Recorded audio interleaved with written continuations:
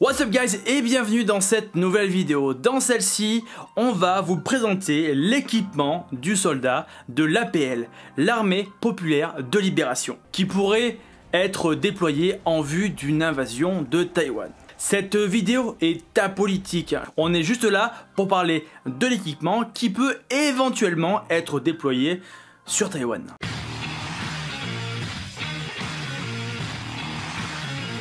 Mais avant de passer sur l'équipement du soldat chinois, on va faire un petit peu un résumé global de cette force armée. Est-ce que vous savez de combien de soldats dispose la Chine? Officiellement, ce chiffre date de 2014, ils ont environ 2,2 millions de soldats, ce qui fait la plus grande armée du monde si on veut, et sans compter les milices locales qui jouent un rôle prépondérant dans les opérations, on va dire, internes sur le territoire chinois. Ces milices locales représentent plusieurs millions de soldats, si je puis dire, et les experts estiment qu'il y a entre 5 et 6 millions du coup d'individus potentiellement combattants. Je vous invite à aller voir les chiffres qui sont sur Wikipédia et quand vous voyez le nombre de soldats qui, sortent chaque année, euh, on va dire du service militaire, euh, c'est quand même assez impressionnant. Tout comme la Russie, la Chine comptait environ 5,5 millions d'hommes en 1949. C'est énorme. Puis 3,2 millions en 1987 et Jusqu'à maintenant, on comptait à peu près 2,2 millions de soldats. Ce nombre ne cesse de diminuer suite aux différentes annonces du président chinois, qui veut une armée moins nombreuse et mieux équipée. Vous comprenez bien qu'une armée qui compte plusieurs millions de soldats coûte très cher et est très longue à équiper. La Chine fait partie, on va dire, des, plus grosses armées du monde et aussi elle a un budget qui va de pair. D'après Wikipédia, toujours, le budget de l'armée est d'environ de 240 milliards de dollars par an. Alors qu'est-ce qui justifie euh, ce budget euh, pharaonique? Déjà, on estime qu'il y a entre 15 et 20 000 véhicules blindés en circulation, environ 3000 avions, 1000 hélicoptères, 200 bâtiments de guerre et 500 infrastructures mobiles. Les chiffres que je vous ai donnés, ce sont des estimations, mais certains experts parlent quasiment du double d'effectifs de véhicules et autres, donc c'est quand même... Euh, c'est un peu terrifiant. Sans compter, bien sûr, les missiles nucléaires et les missiles balistiques. Comment est géré le commandement des armées chinoises? Il y a eu une réforme récemment des différentes régions. Vous pensez bien qu'un tel pays ne peut pas être géré d'une façon euh, centralisée. Il faut des régions. Ces régions sont donc du coup des régions militaires. Et il y a, pour vulgariser ça, 17 groupes. Donc quand je dis groupe, euh, ça va être des unités, on va dire, spécialisées par exemple des unités de montagne, de marine, l'armée terre, qui sont réparties sur ces cinq régions. Voilà, on parle de centaines de milliers de soldats. Donc on ne peut pas tous centraliser au même endroit, même si c'est le parti en lui-même qui chapeaute tout. Il doit quand même déléguer bon nombre de tâches, sinon c'est ingérable. Et dans ces 17 groupes, comme je vous l'ai dit, il y a des parachutistes, il y a des compagnies amphibies, très important, il y a des troupes de montagne, notamment les troupes de montagne du Tibet, et je ne parle pas des troupes spéciales de la police. Et oui, il y a, comme chez nous, un GIGN, un RAID, mais à la version chinoise. D'après certains analystes, il y a même une section spéciale, un groupe spécial destiné aux cyberattaques. Petit point aussi, à l'international, il y a très peu de soldats chinois qui sont stationnés à l'étranger. C'est moins de 1000. La plupart se trouvent en Éthiopie, à Djibouti, ou voilà, Sud-Soudan, mais ils n'ont pas réellement fait de mission à l'extérieur. Quelques soldats sont partis en tant que casque bleu euh, en Afrique, mais voilà, ça reste, euh, ça reste le strict minimum. Une question qui vous brûle peut-être les lèvres, et en tout cas moi qui, qui m'a interloqué, c'est comment la Chine fait-elle pour équiper autant de soldats? Il existe dans le monde des dizaines de complexes militaro-industriels. Et le top 10 de ces complexes euh, sont soit tenus par des Américains ou des Chinois. Et ouais, il y a 5 firmes chinoises qui sont dans le top 10 des plus gros fabricants d'armes et d'équipements. Un des plus célèbres, c'est Norinco. On verra tout à l'heure pourquoi. Mais les premiers de ce classement sont bien sûr les Américains. Je rappelle que leur budget est de plusieurs milliards de dollars par an. Si je dis pas de bêtises, il est de 1000 milliards Ça laisse un petit peu de place quand même donc pour euh, produire. Qu'est-ce que le soldat de l'APL utilise comme protection individuelle? Commençons par les gilets. Partons du plus ancien mais qui peut être potentiellement utilisé. Il y a le type 81 qui est un brolage inspiré de ceux euh, du Vietnam par les Américains qui peut être associé à d'autres gilets, un petit peu comme le PACA, le gilet pare-balles en soi peut être associé avec un chest rig. Les Chinois ont repris le même principe. Pour cela, il y a le type 04B qui est un gilet lambda, une protection on va dire primaire. Il existe deux variants, un avec passant molle et bien sûr un sans passant molle. Avec ceci, comme je l'avais dit, il peut être associé à un chest rig. Et en l'occurrence, ça pourrait être le type 06, qui est un chest rig à la mode Chicom. Alors qu'est-ce que le Chicom Le Chicom, c'est le chest rig 100% Vietnam. C'est ce qu'on va voir quasiment dans toutes les séries de guerre, c'est le fameux Chicom, trois chargeurs d'AK devant et une poche grenade de chaque côté. Le nouveau gilet de combat, c'est le Type 15. C'est un gilet, voilà, moderne, vraiment basé euh, sur on va dire une ergonomie occidentale, poche détachable, on peut tout moduler, bref, c'est un gilet moderne. Gilet beaucoup plus rare, c'est un custom, c'est le HPC Vest. En gros, le gilet des soldats de première ligne, ça va être le type 15. Et le reste, ça va être pour les soldats de seconde ligne. Enfin, je pense, hein, rien n'est sûr. Il y a très peu d'informations concernant ce sujet. En casque balistique, qu'est-ce qu'on va avoir? Un des principaux, c'est le QGF03. Il y a différents variants, un peu comme on pourrait avoir avec un, un MIJ 2000. Il existe le MIJ 2001, le MIJ 2002. Voilà, il y a plein de variants. C'est un mix entre, comme je l'ai dit, le MIJ et le Page GT, avec la petite houppette devant. Ça fait très old school. Qui seront plus destinés aux soldats de seconde ligne. Le dernier casque de dotation, c'est le QGF 11 avec un montage pour vision nocturne, des rails et compagnie. Voilà, ils ont enfin compris qu'il fallait un petit peu évoluer. C'est très difficile d'avoir des informations concrètes dessus. J'ai épuré beaucoup de forums chinois, comme j'ai pu avec la traduction, mais ce sont des informations qui sont, comme j'ai dit, et je le répète, à prendre avec des pincettes. Niveau habillage, que va-t-on retrouver? Toute bonne armée dispose d'un panel de camouflage. La Chine ne fait pas exception à cette règle. Dans le même état d'esprit que les Russes, avec le projet Ratnik début 2010, le parti a décidé de moderniser son équipement. Nous allons retrouver trois modèles d'uniformes de combat le type 07. Il y a 6 patterns différents pour cet uniforme BDU, universel, désert, woodland, océan, bleu marine et spécial opération force camo.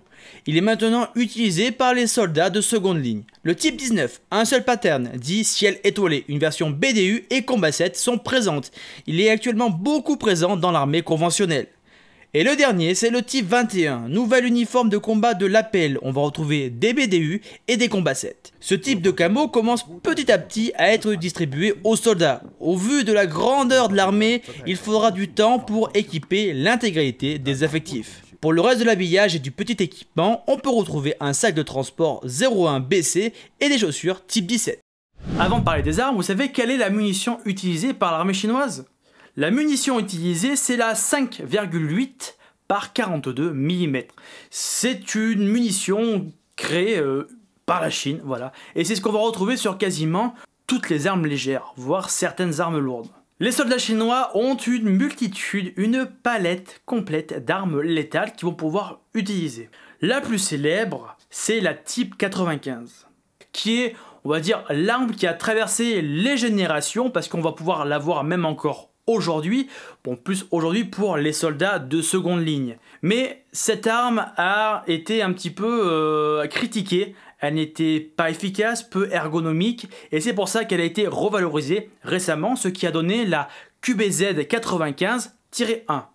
Sur la QBZ, ils ont rajouté un rail Picatinny sur le top cover, un garde-main qui peut être interchangeable, les problèmes inhérents à l'ancienne version ont été corrigés, ce qui la rend beaucoup plus exploitable et ergonomique. L'autre arme qu'on va présenter, c'est le NAR 10 de chez Norinco qui utilise un calibre de 7,62 et qui se veut rivaliser avec les HK417 et les FNR Stahl Scarache. Et en plus de ça, elle peut tirer des grenades pour canon. Petit aparté sur Norinco. Tout ce qui peut tirer, voler, rouler, Norinco va le copier. Ils se veulent même être des concurrents directs à FNR Stahl et HK. Et pour cela, ils n'hésitent pas à copier le Scarache. Il faut néanmoins apprécier le look de ces nouvelles armes. Nouveau fusil de dotation, c'est le QBZ 191. Bon, il n'y a rien d'officiel encore, mais c'est une arme qui va utiliser la fameuse munition chinoise et qui va équiper, un peu comme nos HK416 à nous, l'ensemble des soldats chinois. Elle reprend le mécanisme d'un AR-15. On passe sur une base plutôt occidentale, comme ça on est sûr de ne pas avoir de problème, ou du moins pas trop.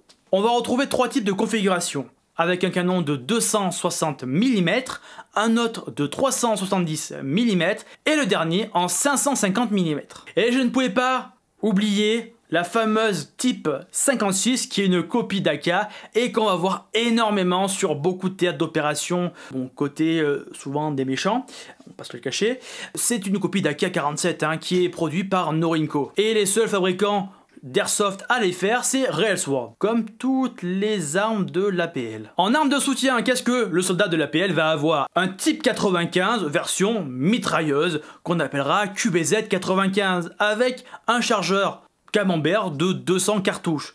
Bon, je vous rassure, c'est pas non plus euh, une arme super efficace par rapport à ses concurrents occidentaux on lui reprochait un peu son manque d'efficacité et de létalité, euh, comme euh, l'arme que je vais présenter juste à la suite. L'arme en question, c'est la Type 88 qui a été mise en circulation dans les années 2000 pour remplacer la Type 67. Gros point faible, c'était euh, c'était plein de choses en fait. Le mécanisme était pas top, les performances n'étaient pas folles et comme je l'avais dit, en létalité, c'était très en deçà des armes occidentales. Donc elle a été on va dire, mis de côté en attendant de sortir une arme beaucoup plus efficace.